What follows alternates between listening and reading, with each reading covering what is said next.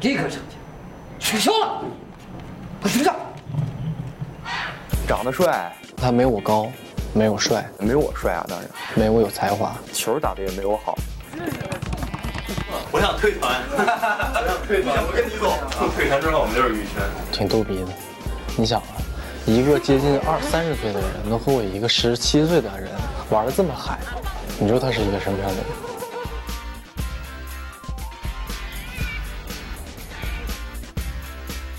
成熟、细好、高冷、慢热、安静、逗逼、爱吃。好吃吗不吃的话不要问好不好吃。我是说他童心未泯呢，还是说他老不正经呢？刚才跟我比急救，结果比不过我，他就要跟我打，老不正经的。我走了。你有病吧？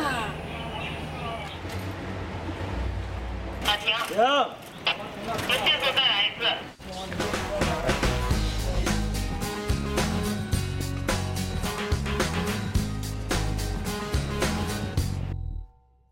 如果说乔然像我百分之六十的话，高强像我百分之四十。我觉得我性格的两方面吧。高强是一个不太循规蹈矩，然后不按套路出牌，玩心很大，但是又很知道自己想做什么的一个男孩。高强想干嘛？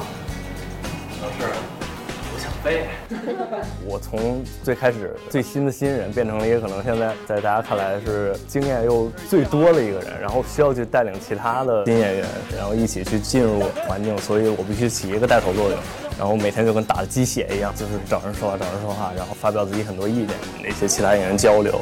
我觉得我现在这时候说不出口啊，我像在暗示他点什么。哎，我们俩刚开始演感情戏，只要两个人一对视就连交。笑场。等等等等。小白也帮助我很多，我们俩有时候他会说，觉得你这块演会这样会好一些，或者那样演你会不会舒服一些，就正常沟通这样。他是一个很爱琢磨的演员，他会去研究这个人物，然后我用什么样的一个状态去能把这个人物演得更好，让这个人物更丰满。经常导演我这儿可不可以加一句台词，或者我这儿可不可以加一个动作？我觉得他比较有脑子，成长的速度也很快。男人嘛，是不是最愿意小伤小痛？第二个是每期都看吧，每期每期都看啊，每期都看，我一本都不买。对那些很了解小白的人，可能是一个惊喜。啊，来，好的，整整理啊。来，预备，开始。